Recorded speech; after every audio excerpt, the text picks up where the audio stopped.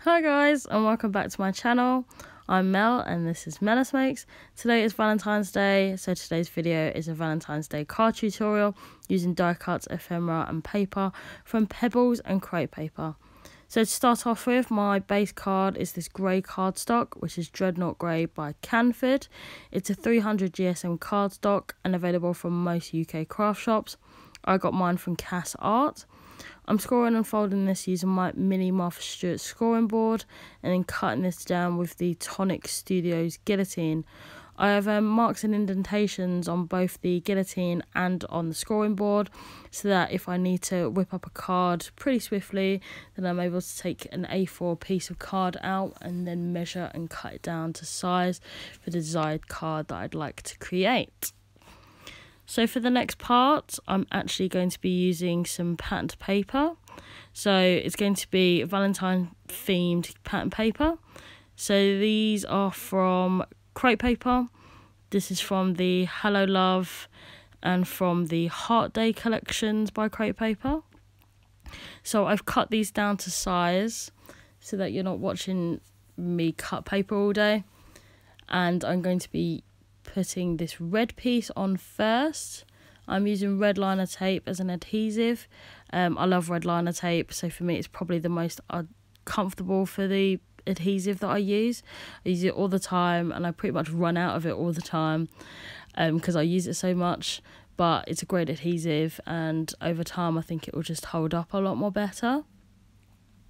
So I'm just sticking on this red patterned paper first and then I'll put the black and white patterned paper on after and these are the two patterned papers that I'll use for the main card base.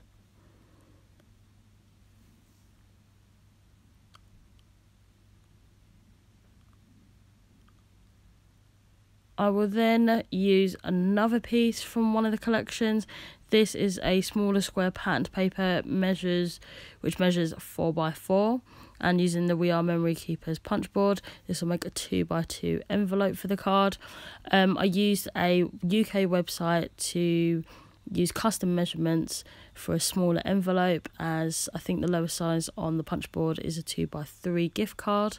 So I've used this website to do a custom measurement for a smaller card.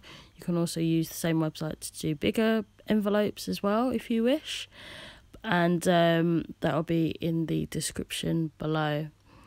So I'm using that to put on my card. I'm just fastening up with the red liner tape and then using the same red liner tape to stick it onto the main base of the card. So once I've positioned that, I'm now going to use some die cuts. These are going to be from Pebbles and these are the My Punny Valentine die cut and ephemera. It's a great collection. It's got lots of puns on it. I think I spent quite a few minutes trying to decide which one to use. I think I um I ended up for the main card just using this I I love you die cut and then using several elements on the card just to kind of figure out where I'm going to put everything. So I decided only to use maybe three or four of the elements and then try and test it out which one suited the cards a lot more better. So I'm just using this pink Happy Valentine's Day die cut and I've just put that on using foam tape and then I will use a mixture of foam tape and red liner tape to put this main I love you die cut on the front just because I'm very aware that the um, envelope on the card is actually quite bulky already so I didn't want to add too much bulk but I still wanted the I love you to be the main focal point of the card. So I'm now going to use glue dots to put on the penultimate die cut on the card, which is this red heart with an arrow on it. And then you'll see me trying to test out this bigger heart, which I thought was just too big for the top of the envelope.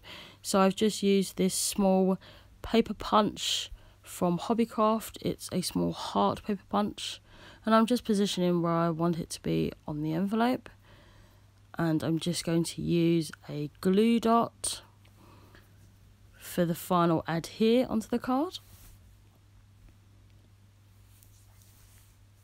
and that's it that's the finished card. I hope you guys like this. I will actually be giving this card to my other half, so I hope that he likes it as well. And I hope that you guys liked it too.